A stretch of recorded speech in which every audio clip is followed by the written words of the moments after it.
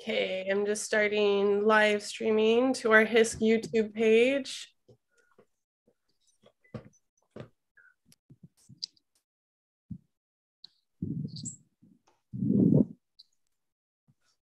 Okay, right on. Let's get started. So, welcome everybody. Again, we're in our first week of Hawaii Invasive Species Awareness Month. So, thank you for joining us. And if this is your first uh, webinar for the month. Welcome. And my face, and if it's not, my face is probably familiar by now. So I'm Chelsea. I'm with the Hawaii Invasive Species Council. Um, today we are joined by Ryan Perroy and Flint Hughes, who are going to talk about fence lines, ungulates, and rapid ohia death.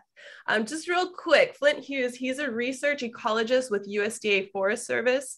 He has been working in Hawaii for over 20 years at the Institute of Pacific Islands Forestry, and during that time has investigated interactions between native and non-native plants, forest succession, forest nutrient dynamics, and forest carbon sequestration, as well as rapid ohia death. Uh, Flint has earned a BA and a master's degree from Stanford University and a PhD in forest science from Oregon State University, investigating ecosystem scale dynamics dynamics and impacts of deforestation and land use in the rainforest of the Brazilian Amazon and southern Mexico. So we're really happy to have him here and especially here working uh, in Hawaii on, you know, a really uh, challenging problem of rapid ohia death.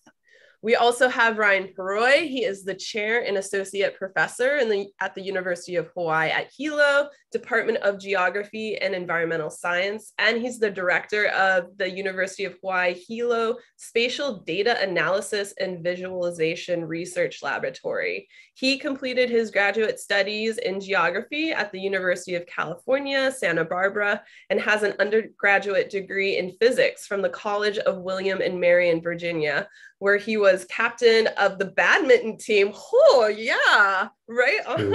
I hope that has followed you into your life in Hawaii. Um, prior to joining the faculty at UH Hilo, he was an assistant professor in the Department of Geography and Earth Science at the University of Wisconsin. So we are so glad to have you both here um, and helping our audience understand what is happening in these dynamic places up in our forest with rapid ohia death and understanding fence lines and ungulates and how they interact together.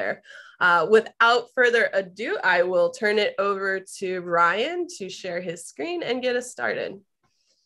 Okay, great. Thank you very much, uh, Chelsea. Let me try to share my screen here and go ahead and, and, and get started. Yeah, again, it's a pleasure um, uh, being here with, with you all. And um, I'm going to uh, talk a little bit. And then, yeah, Flint, Flint will uh, chime in uh, with with um, all the great work that that his group is is doing.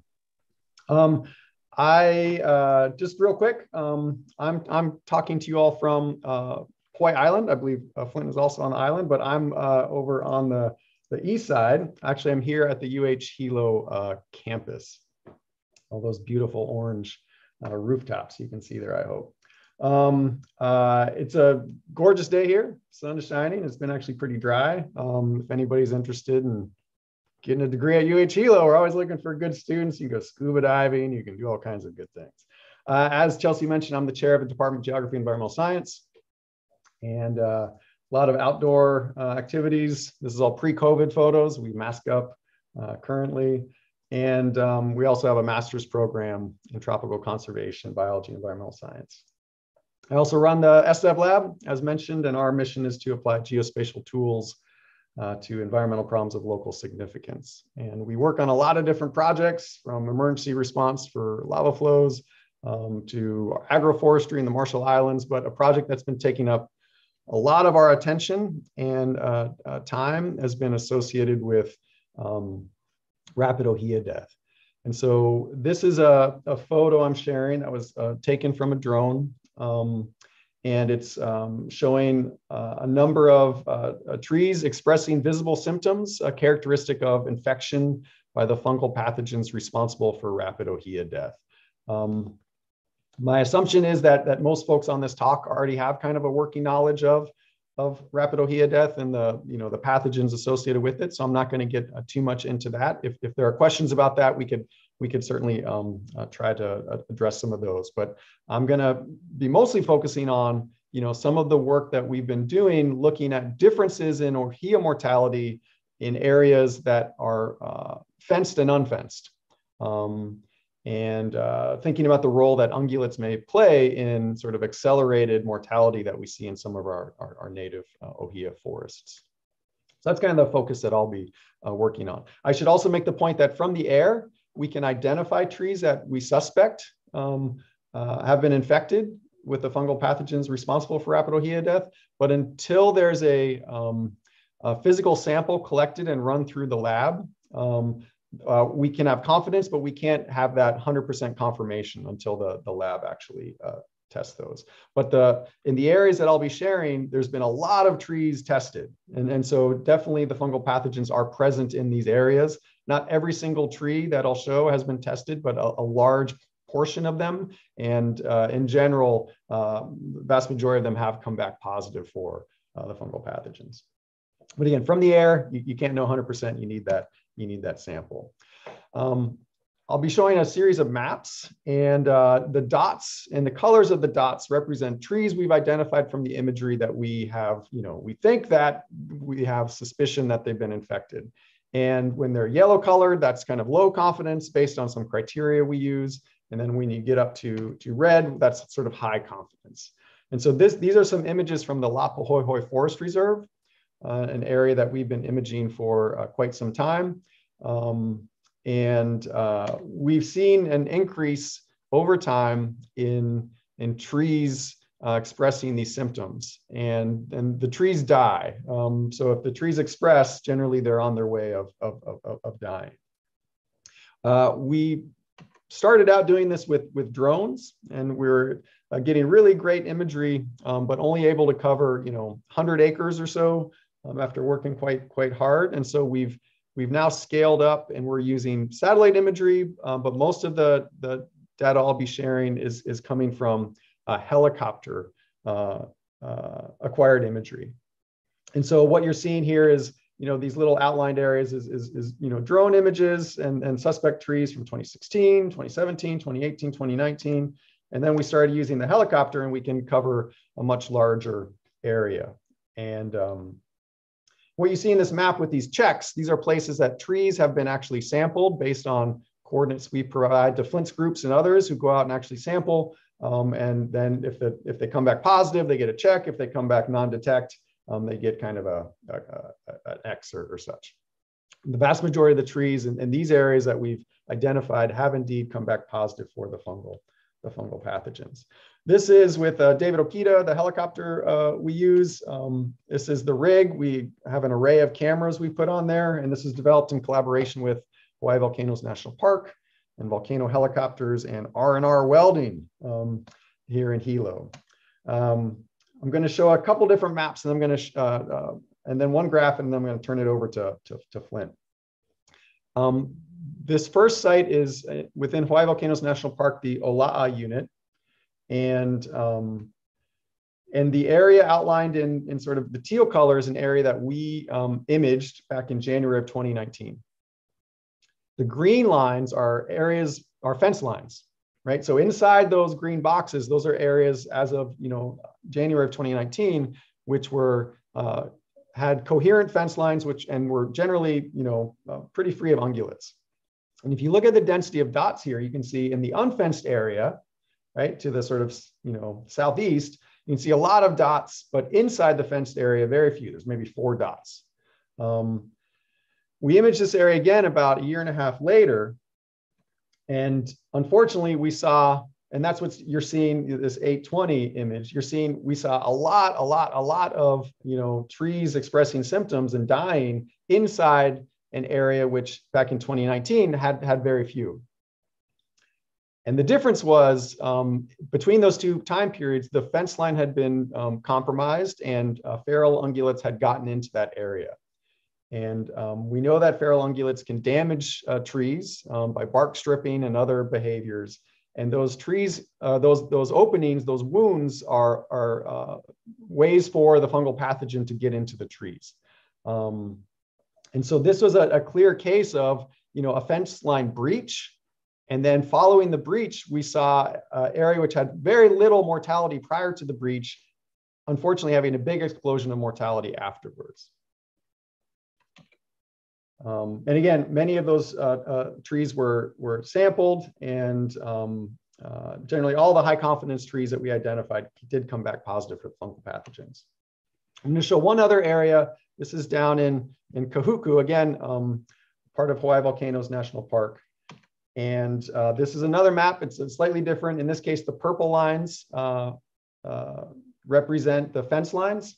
The, the purple dots are, you know, photos that we took from the helicopter survey. Um, but you can see on basically on the, the east side, the unfenced side, a very high density of trees dying. But then within the, the park unit, within the fenced, uh, generally ungulate-free area, a much, much lower density of, of, of trees expressing symptoms.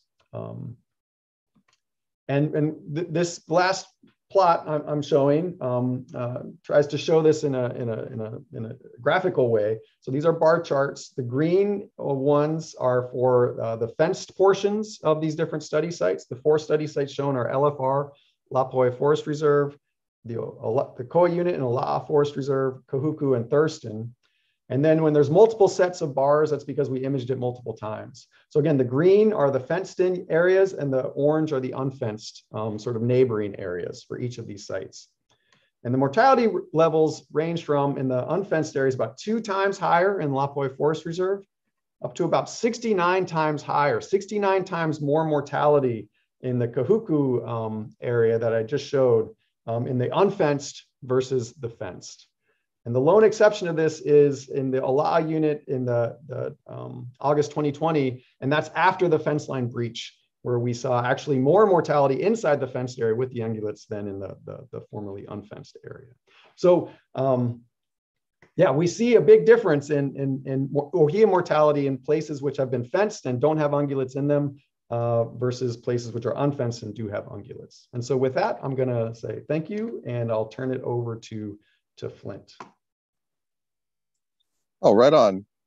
Thanks, Ryan. Yeah, that's that's such a good description of of your work and and your description of of your lab and UH Hilo. I I wish I was a student. I'd want to I'd want to apply to work with you. That'd be fun. Um, I I um yeah. I, as as as I was introduced, I'm I'm my name is Flint Hughes. I'm a research ecologist uh, at the Institute for Pacific Islands Forestry. It's a that's a research institute of the Forest Service in that's located in Hilo, just up the hill from UH. And um, yeah, uh, it's been boy, the institute has been around for 50, 70 years, something like that, um, uh, doing various work related to forestry and forest science um, over those years. And today, most of what we do is related to conservation of, of native native ecosystems both in Hawaii and across the Pacific. Um, and and so there's oh maybe half a dozen research scientists and and staff um, that that work at the institute, and everybody um, is doing great work up there, figuring out um, answers to questions and solutions to problems as best we can with with our with our research efforts. Um, yeah, so so that's just a little bit about about where I work, um, and I I've I've really appreciated collaborating with with Ryan on rapid ohia death issues because he's given us um, so much information to learn from about the patterns and the dynamics of, of the spread of rot across landscapes, kind of where it's occurring, um, what what's the extent of, of of an outbreak, and then and then as he's saying with this work, trying to provide information about why it's occurring, um, and and what start uh, and getting at kind of what the causal mechanisms are. So so Ryan looks at things from the air, kind of the bird's eye view Um, the work I'm going to be describing um, this morning is is very much not the bird's eye view. It's more like the, I guess it's more like the pig's eye view. Um, the sampling that I'll be describing is, you know, at the soil level. Um, the the group, our our group that um, is investigating this as a collection from folks in my lab. Uh, our little acronym is RUFF, uh, rod, ungulates, and fence lines. That's the that's the study. So so we go by roughsters, we go by the ruffians, um, but we are definitely on the ground and and exploring um, what's going on in terms of the interactions between management, ungulates, and the spread of ceratocystis. Um, the the way we do that is is we're looking primarily and focusing in on on the presence of a knock of of ceratocystis, so that's the causal agent of rapid ohia death, ceratocystis fungi spores or inoculum in the soils. Because our, our thinking is that in areas that um, have inoculum in the soils um, from that's getting deposited either from trees in the local environment or, or wind dispersed trees is somehow getting picked up and moved around and into trees through wounds. Um, rapid ohia death is a, a ceratocystis is a, a, wound pathogen, so it needs to have a wound to get into a tree. If a tree is not wounded, uh, the the pathogen has no matter how much is around in the environment, it's not going to get in the tree and infect it and subsequently kill it. So um, wounding is, is a utterly important part of the of the process and some of the agents that wound trees, unfortunately, are ungulates in, in the environment. And, and pigs certainly do that. Not not necessarily trunks. They don't necessarily wound trunks. Sometimes they do, but more often they're they're wounding roots. Um, and so we think that the pathogens, the inoculum from ceratocystis, is getting into to roots through wounds created by ungulates. Um, specifically pigs in, in the cases I'll be talking about today. Um, so that's kind of the connect the connection, the mechanism that we're exploring. Um, and and the simple question is, well, are, is there inoculum in in the soils uh, in these areas to be spread around, to be picked up by ungulates, and are there ungulates in these areas as well? So so what we set up is a study to to look at the impact of ungulates, the interactions of ungulates with ceratocystis in areas where we had a lot of ungulate activity and then adjacent fenced areas, managed areas where ungulates had been excluded. And so what we set up, and I'm sorry I don't have any slides. I'm I'm a little bit too remote to be showing slides today. Um, uh, what we selected were about six or seven study regions across the Big Island. That includes areas in Kohala, uh, Mauna Kea, Mauna Loa, Kilauea, um, down in Ka'u on Mauna Loa substrate. Uh, so a wide variety of environments where we had the opportunity to, to have these this kind of experimental setup of adjacent or of fenced areas where pigs were pigs and ungu- other ungulates were excluded um, next next to or adjacent to uh, unfenced areas where ungulates were quite present and quite active. Um, and so I, am just going to uh, talk about a few results, and some of them overlap with with the images that Ryan showed.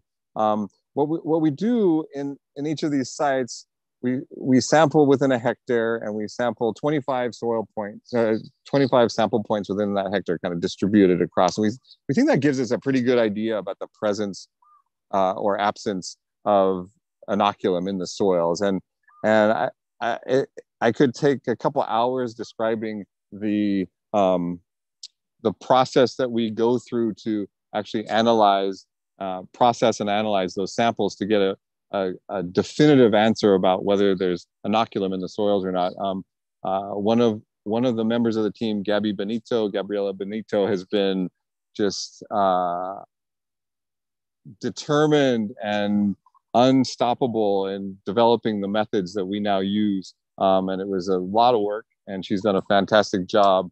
Um, and and all of the results that I'll be talking about now um, are based on her hard work to to develop these these methods that really work and and that we can be confident about. Um, so I'm just going to talk about a, a few areas uh, that we have data for. We're in kind of the, in the midst of this effort, and so these results. Um, I'll be I'll be talking about our final for these areas, but the whole picture is kind of still revealing itself to us. We're, we've sampled about a third of the plots of the of the hectares that we plan to across these areas, and so we have a long way to go. But I just wanted to share some of these results initially, so you get an idea about what we're seeing. Um, so the first area I'm going to talk about is um, uh, two pu'us up in Kohala. One pu'u uau, um, that is an unfenced area. It was the, the it was the it's the location of the original outbreak of of rod in in Kohala, and um, it's ceratocystis has had a devastating effect in this in this local region on this on this pu'u. It's killed probably close to 90% of the ohia trees in that area. Um, in contrast, about a quarter mile away, we have a fenced area um, that's um, called Pu'upili. It's been fenced for oh decades.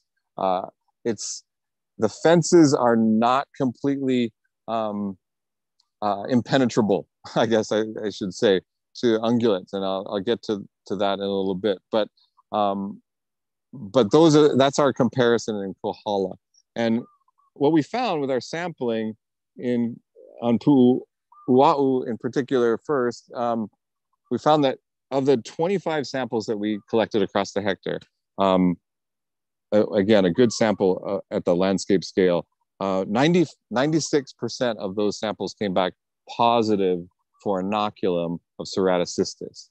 Um, and in that site, we, we not only are seeing high levels of inoculum in the soil, we're also seeing a lot of evidence of pig activity.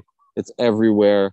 Um, vegetation damage, soil damage, fecal matter everywhere across this area. And we're also seeing, as I said, a large number of, of trees that are have either, either succumbed already to ceratocystis um, or are in the process of dying. Um, so high amounts of ungulate activity, high amounts of inoculum in the soil, um, and high amounts of mortality. Pu'upili, um, in contrast, we we anticipated that because it's fenced, we haven't seen a lot of mortality across the site. I don't. I think I don't think we've seen any mortality within the fence. We've seen some mortality just outside the fence line. Um, we anticipated seeing little or no inoculum in those soils. But when we went to sample that area, we noticed that, that actually there had been a fair bit of ungulate ingress into the area that we were sampling. Um, and that manifested as um, in our soil samples as revealing about 50%, well, 56% of, of the samples came back positive for ceratocystis inoculum. So even though it's fenced, there were ungulates in there. We have not seen the mortality um, occurring at anywhere anywhere remotely close to what we're seeing in Pu'ua'u, but we're worried that because there's a lot of inoculum in the soils and because there is ungulate activity that we're going to start to see that occurring um, through increased wounding of those trees as the ungulates move move around in that forest um, and and start wounding those trees and and having them become infected with ceratocystis as a result. So so that's Kohala. That's just some contrast between those two sites.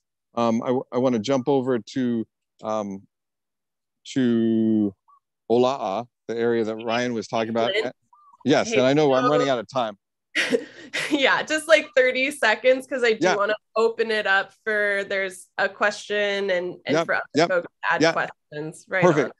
Perfect. So so um just really quickly, uh the the samples that we've we've run so far, we've collected from Ola'a small tract, which is that area that was not did not have a lot of mortality because it's well fenced and well protected.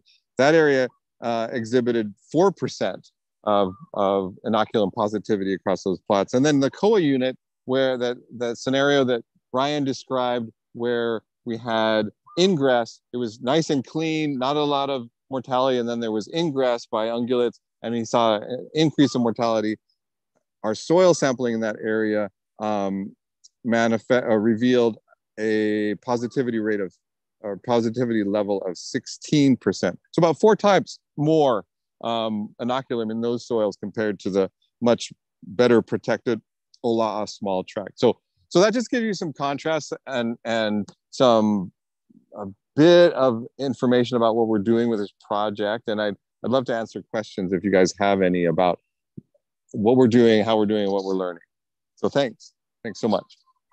Yeah, thank you so much, Flint. That was, I mean, we could have had a whole webinar for you describing the the soil and inoculum, and there. It was really interesting to hear about that. And thank you so much, Ryan, for providing like the aerial perspective and what's happening. Um, we are down to a few minutes. Uh, we do have one question, and it's a big one. Um, and this is from Monty. Is it too simplistic of an outlook for me to conclude that rod will lead to Ohia eventually becoming completely extirpated from unfenced areas, but that Ohia will persist in perpetuity without much trouble inside fenced areas? Um, and I think Flint and Ryan, you both could talk to that question you want to you want to go ahead first, Ryan? Um, uh, sure. I'll, I, I can briefly uh, um, uh, talk about that, but I think Flint, you could probably provide a, a, a deeper answer than I could. Um, you know, there's certainly on Hawaii Island, right? There's a lot of ohia trees, right? There's a lot of ohia trees that are still healthy and um, and I know that these maps I show can be quite alarming ah, the whole area, oh my goodness. Um, uh, but the, the truth is that even in uh, many of these, you know, unfenced areas, um, there are there are large, large tracts of, of, of healthy ohia. Um, and there's some really exciting work by, you know, um, Blaine Luiz and others looking at, you know, resistance and other things of, of different ohia varieties and such. So I um, I don't think it's the case that in all unfenced areas we're going to lose all of our ohia trees. I, I don't believe that's going to, to happen. I will say that in unfenced areas, our ohia trees are under increasing threat and pressure, and they're really being stressed from invasive species, from all kinds of other things. And so, um, in some areas, we are losing all the ohia. Like in lowland areas, um, yeah, the, the ohia that you see are, you know, they're not in 50 years, there probably won't be any. So, um, so I, I, I, I don't think we're going to lose all ohia in unfenced areas, but I, I definitely think that the unfenced areas, the ohia trees there are, are feeling a lot of pressure and it's not good and it's not a good trajectory. I, but I don't think we're going to lose all of them. Yeah, and, and I, I would concur with Ryan for sure on that. And I um, just would add. I, I, guess I'd look at it a different way. Um, you know, when we started this research, we were tasked with trying to figure out management approaches that would protect ohia to the best extent possible. And it's turned out that protecting forests through fencing, which is a you know it's not a high tech solution. It's it's not an easy effort by any means, and it takes management, it takes effort, um, but it's not like a space age approach. That practical management approach works to protect trees from rapid ohia death. Um, and it's it really boils down to the basic of you're protecting trees from chronic wounding from ungulates. And that we were learning is a big factor in spreading the disease, infecting, wounding trees and infecting them, and subsequently killing them. So, so I certainly there are, as as Ryan said, there are areas, um, Saddle Road, the forests along Saddle Road, for instance, that are not fenced. There are millions of trees out there that have not succumbed to to ceratocystis and well, arguably are pretty well protected perhaps because there isn't a lot of ungulate pressure in those forests. Um, that's that's a that's conjecture. That's not that's not something we know yet. Um, but certainly, we are losing ohia trees, And if we don't apply the best management practices we can, we're going to lose more and more and more over time. Not to the point of extinction uh, or even local extirpation, but we are going to lose that fabric of native dominance of that the the, the habitat that ohia provides um, ohia could likely become a much less dominant component of this of these systems um, and that's something that we don't want to see happen i hope that i hope that answers your question monty and, and i'll just i'll just add to that that you know that I think we're talking about Hawaii Island, right? In right. the case that we've got millions and millions of ohia trees on Hawaii Island, Kauai, Oahu, you know, that's a different story, right? Right. And, and so, so, um, yeah. And I, I guess too, uh, I have to say, I, I, every ohia tree is a, an important individual. Um, and we tend to think of these as forests, but I, I think it's worth thinking about ohia single ohia trees for their own value. And for and some of these trees are you know 300 400 years old um, pretty amazing creatures. And so we should respect that and them and do what we can to protect them yeah thank you so much. Thanks for ending on that note of hope and and also just being representatives of this larger collective of researchers, cultural practitioners, land managers, just people, communities that are really working to answer these questions. And I mean, we're answering questions every day and learning more and more about how to manage this fungal pathogen. And that information is feeding into, and the technologies like you're developing, Ryan, and the science that you're doing, Flint. I mean, those are feeding into other invasive species managements. Um, so it's really, uh, you guys just do great work and we're so thankful for you and like this larger collective of the rapid ohia death working group and for our audience for wanting to learn more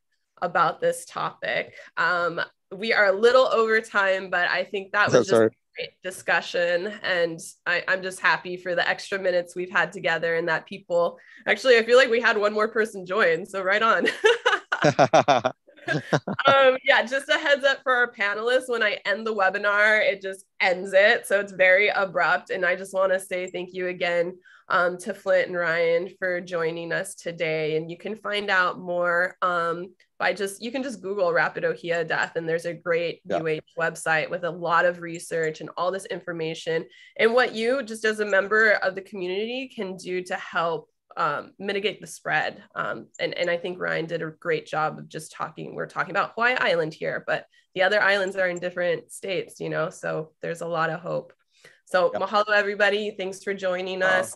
We have a talk about the legislative process and how you can get involved at 2 p.m. today. So we hope you can join that. Just check out our uh, HiSam schedule for 2022. So thanks again. Awesome. Thank you so much. Yeah. Thanks for letting us share. Awesome. Take yeah, care. Right on. Thanks Aloha. very much. Hello, everybody. Aloha.